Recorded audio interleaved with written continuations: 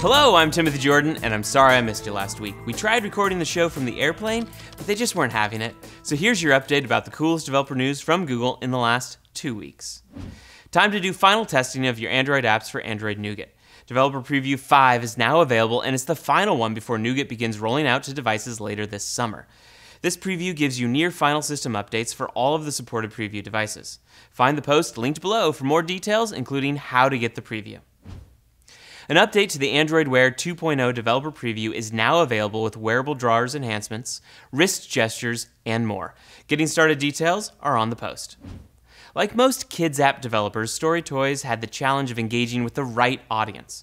Since the launch of the family section on Google Play, Story Toys has experienced an uplift of 270% in revenue and an increase of 1300% in downloads. Take a look at the video linked below for more. Showcase your game at the Google Play Indie Games Festival in San Francisco on September 24th. We're accepting submissions through August 14th for this opportunity to show your title to the public and compete to win great prizes, including tickets for Google I/O 2017 and Google Ad Campaign support.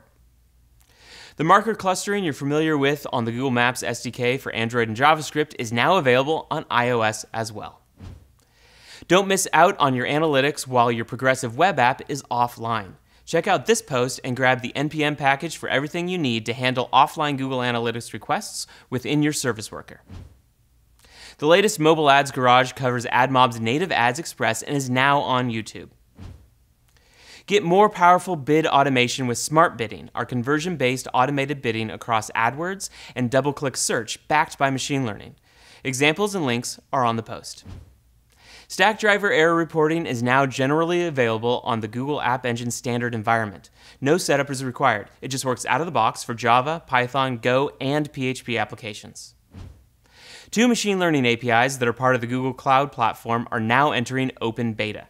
The Google Cloud Natural Language API lets you easily reveal the structure and meaning of your text in a variety of languages.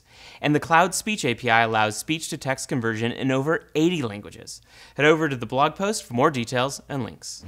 As always, check out the description below for all the links. Don't forget to subscribe and send us your questions with the hashtag AskDevShow. I'm Timothy Jordan, and I'll see you next week.